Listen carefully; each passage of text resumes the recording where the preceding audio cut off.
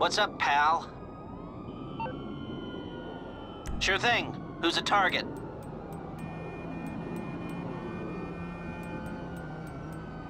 Okay. And what are you investing in this? Okay, let me speak to someone.